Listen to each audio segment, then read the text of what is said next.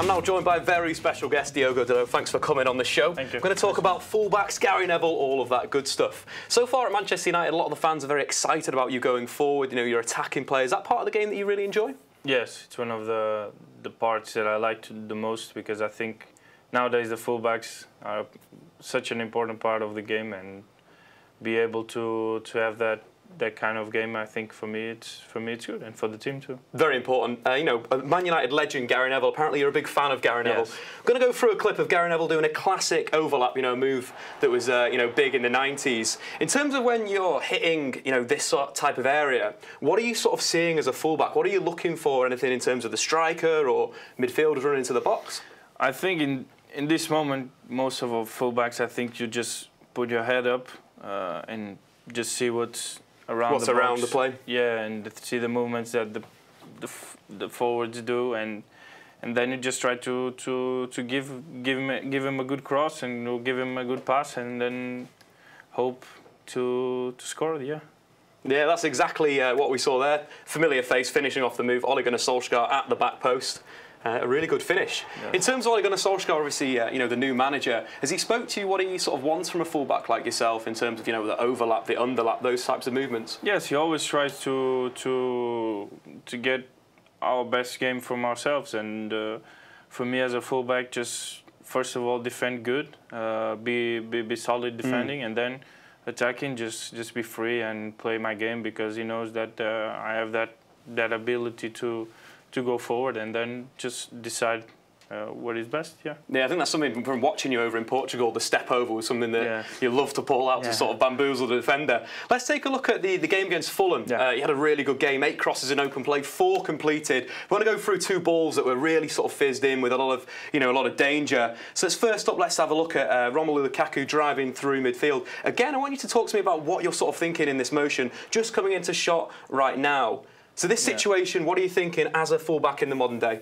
One of the things that I noticed is uh, Romic's not in the area. Yep. So can, when I'm So if you want to just a circle. So Yeah, so if you want, if you want to highlight Ah, like Big this. Rom there, yeah, there you go. Rom, Rom is not in the area, so Yeah. I knew that Jess is not as strong as Rom with the headers, Marcus too. So I just try another way. So I think the space, Drop the, the space, yep. yeah, the only space to go is from here. So you're looking to hit this type of area in the middle. Um, So the space, I think this is the Yeah. the biggest space to go, and I saw Jesse behind the second defender, so I just tried to to put it into that area. It's quite interesting you sort of talk there that you know you're, you're evaluating Lukaku's not in there, can't hang it up to the back post, gonna have to try and whip it in and get one of the sort of pacier Yeah. players, your your Rashfords, your Lingards onto the end of that. And again, this was a, a really really good ball into the box, lovely whip on it. It's sort of like you know that classic Gary Neville ball in there, uh, but really good play from the right hand And I side. know that too because as a defender, I know that this is a difficult ball for defenders to defend. Yeah. So, so a hard cross between uh, the goalkeeper and the defenders. I think it's it's the most difficult cross to defend. So I just tried to Put it in with pace.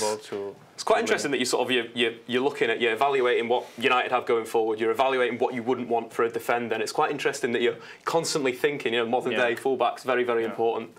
Yes, uh, it's like I said to you when when you try to improve your game, I think you need to to think different than the others and be, be I don't like to just to call it clever, but but just be just be sharp and and ready for it. Yeah. Let's take a look at one more clip again.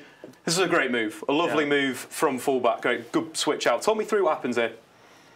Okay, so I'm a fullback, so I know that that what do you what do you want what do you don't want it's to a winger comes to you and Yeah. runs to the space. So I think in that moment I, I couldn't do the step over like I, I, I like to The do because I think I can get advantage on that. So uh, I just try to use my pace and put a ball in the space and then run and go through him and then So again, in this situation, where it's Yeah. slightly different, we've got you know yourself in a, in a wide position, and you're looking to hit that sort of area. Again, is that you head up, isolated? You've, Yeah. you've seen Lukaku's in there. Let's try and hit him. That that that uh, move, I think I I I had two choices, or this choice or this one. I think I don't remember quite well, but I think Marcus or Jesse were a little bit too far, so I just tried the the the cross between again between the goalkeeper and the and the, the defenders because I think it's the most difficult cross for them Mm.